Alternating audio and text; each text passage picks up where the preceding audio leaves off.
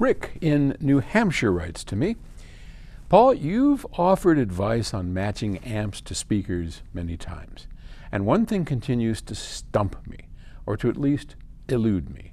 I often see 100 watt 8 ohm high efficiency speakers matched with a 44 watt 8 ohm all tube amplifier.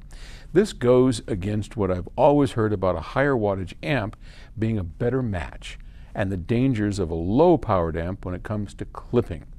So, why do I often see the above scenario in high end audio setups? Well, it's a good question, and let's, let's talk about that. So, why is there a danger in clipping?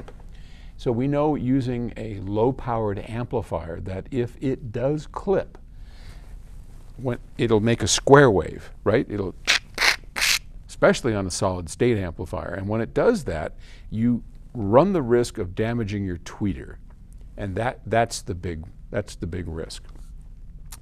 So, why do people on a consistent basis use like uh, single ended triode tubes, set amps, right? Maybe they're 12 watts, 20 watts, and they run it into a speaker that needs much, much more.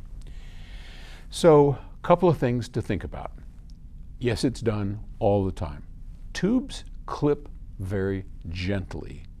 So, when you have a tube amplifier that's clipping, especially a tube amplifier that has an output transformer which rolls off or rounds off the output, it's pretty much impossible to get a square wave through there.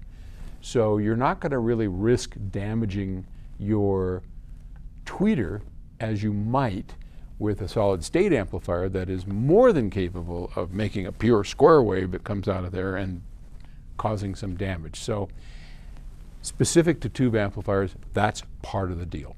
Second thing is, surprisingly, regardless of how big your amp you have, we rarely put many watts into a speaker. And if we do put watts into a speaker, it's almost always in the bottom end. I would say that for the average sensitivity loudspeaker, playing loudly, mid range and tweeter, 20 watts would be unusual. 30 watts. It, it's just, it's really stunning. If you ever see like those cool McIntosh amplifiers that I'm not a big fan of their sound, but they do look cool. And they have those meters on the front, which aren't all that useful because they're not very quick.